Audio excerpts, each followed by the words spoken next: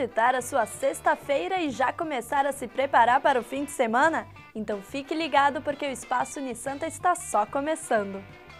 E na sexta-feira tem música. No Sobe Som, Super Combo, a banda que cresce mais a cada música lançada.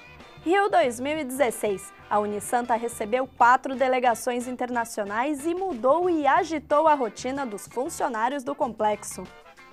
No Sobe Som de hoje vamos conhecer um pouco mais sobre a banda de rock nacional que está sendo reconhecida internacionalmente com belas músicas e arranjos detalhados. Estamos falando do Super Combo.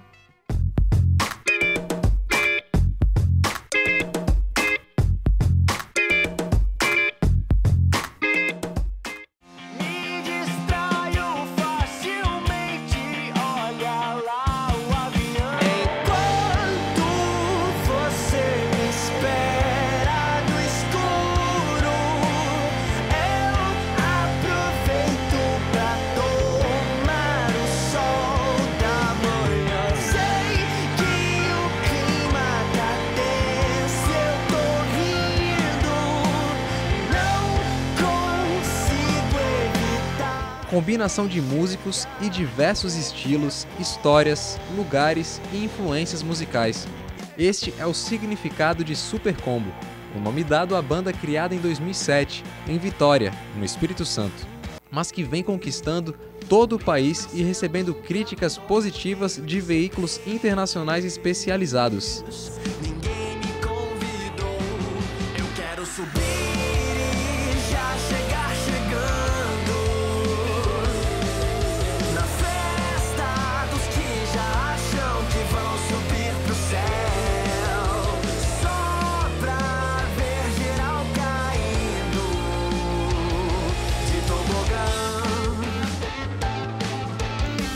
Mas São Paulo, cidade que normalmente abre as portas para a maioria das bandas nacionais, abriu também para o Super Combo. Foi na capital paulista que a banda consolidou a formação atual e gravou o primeiro disco, em 2008. Ali foi o ponto inicial. O Super Combo estava nascendo.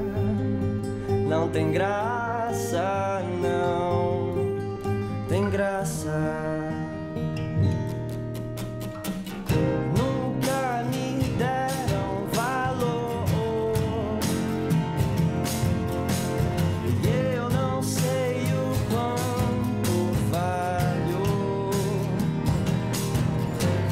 Fazer o que eu não gosto, com pessoas que nunca quero interagir. Nunca. Essa é a parte da letra de uma das músicas lançadas no segundo disco do Super Combo em 2011. Definitivamente, a banda não fez o que não gosta e deu mais um passo rumo ao sucesso que o grupo esperava com esse CD e o videoclipe da música Se Eu Quiser.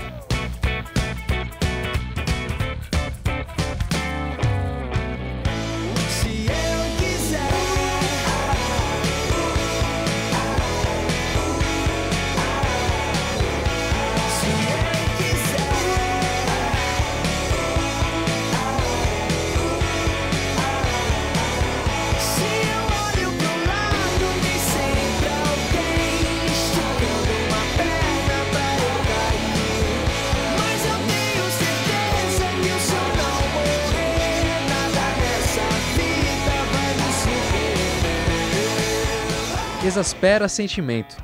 Foi assim que a consagrada revista americana Rolling Stone classificou a música Piloto Automático, lançada junto ao terceiro álbum do Super Combo. A música merecidamente ganhou um videoclipe e, graças a ela, a banda conquistou um público maior, principalmente os jovens, que se identificam muito com as letras do Super Combo. Os travesseiros pesam uma tonelada. Devia sorrir mais, abraçar meus pais, viajar o mundo e socializar. Nunca reclamar, só agradecer.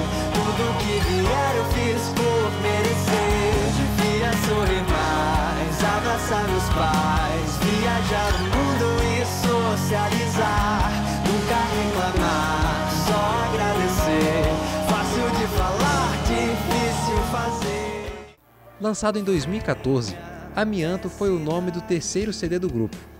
A partir desse disco, a banda deu o mais importante passo na carreira e participou do programa de show de talentos Superstar.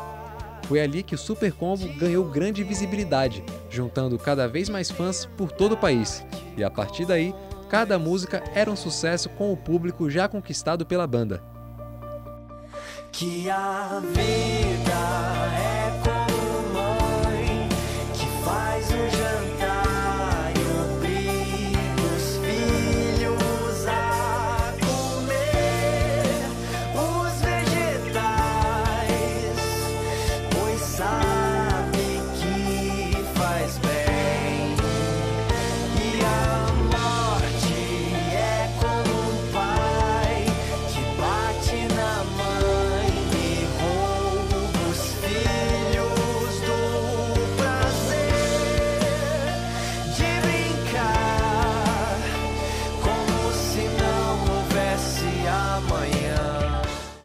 A participação no festival Lollapalooza desse ano mostra o quanto a banda vem crescendo. Além disso, o YouTube e serviços streaming de música ajudou para a projeção nacional. A música Piloto Automático foi a segunda música mais compartilhada no Spotify em 2014. A banda só traz novidades boas, e com isso, vemos que o grupo cresce cada vez mais a cada dia. E por isso, todo dia é dia de comemorar.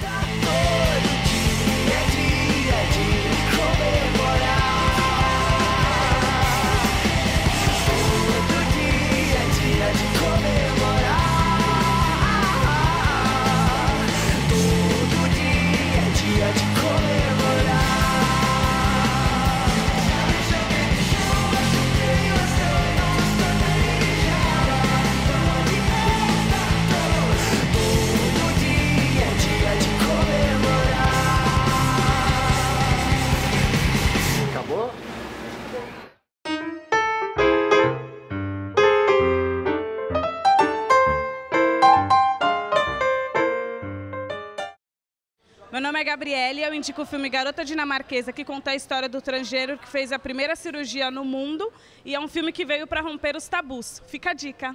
The first time we met, she oppositioned me. She seemed so sure. I was sure. It was so shy and mysterious. Is there something you'd like to tell me? Is there something you'd like to know? I'm your wife. I know everything. Could you help me with something? You will not tell anyone about this.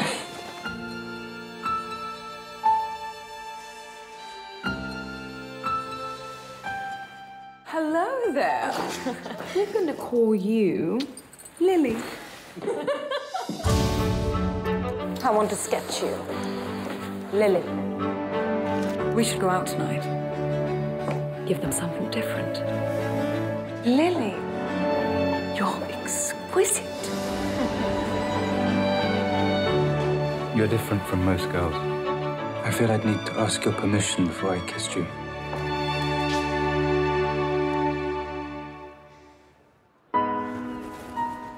Exactly what happened last night? There was a moment when I wasn't me. There was a moment when I was just Lily. But Lily doesn't exist. We were playing a game. Something changed. He's lost his way. He needs a friend. Let me help. I think Lily's thoughts. I dream her dreams. She was always there. I need my husband. I need to hold my husband. Are you all right?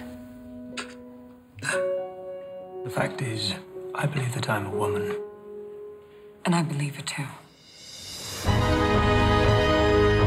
Surgery has never been attempted before.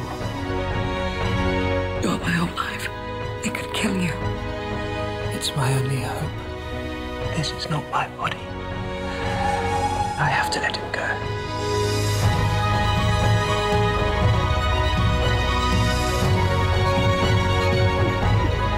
I love you because you're the only person who made sense of me.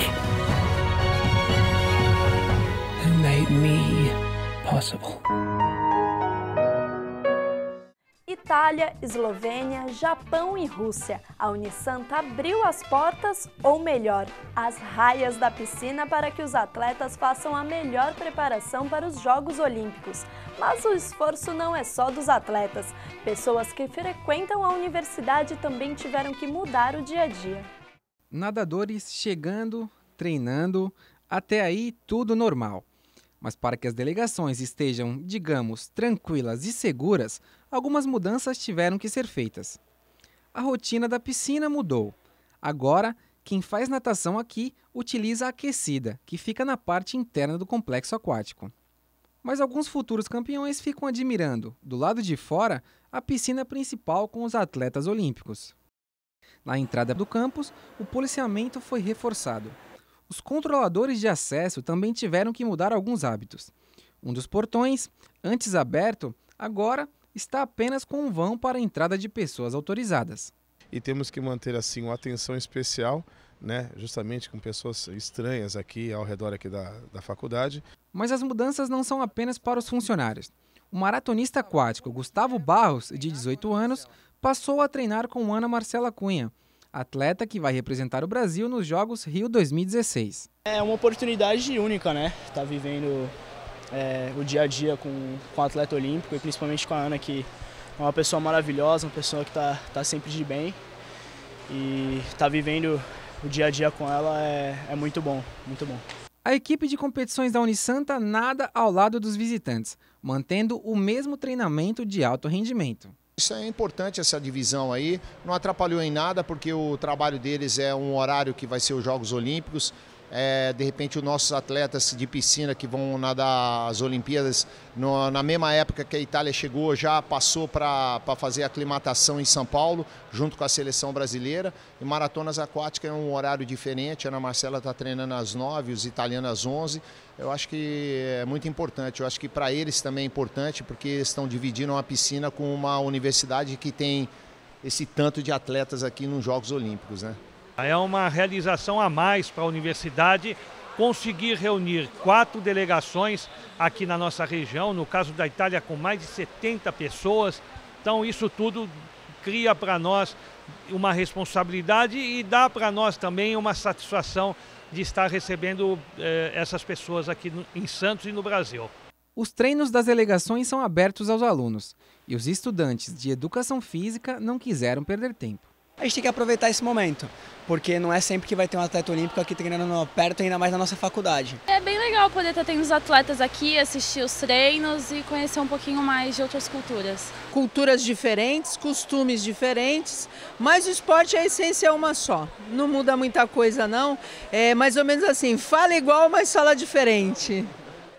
E a festa de abertura dos Jogos Olímpicos é hoje à noite. Boa sorte a todos que vão participar e nós vamos torcer pelos atletas da Unisanta que irão representar o Brasil. Na nossa página no Facebook tem muitas informações e curiosidades sobre as Olimpíadas. Não deixe de conferir. Bom fim de semana, tchau!